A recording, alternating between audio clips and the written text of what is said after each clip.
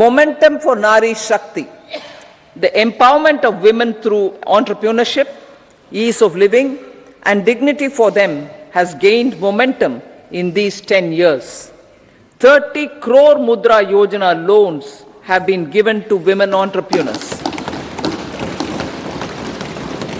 Female enrollment in higher education has gone up by 28% in 10 years. In STEM courses, girls and women constitute 43% of enrollment, one of the highest in the world. All these measures are getting reflected in the increasing participation of women in workforce. Making triple talaq illegal, reservation of one-third seats for women in the Lok Sabha and state assemblies,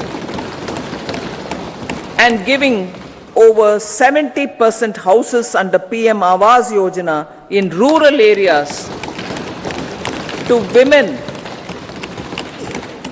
and giving over 70% houses under PM Awas Yojana in rural areas to women as sole or joint owners have enhanced their dignity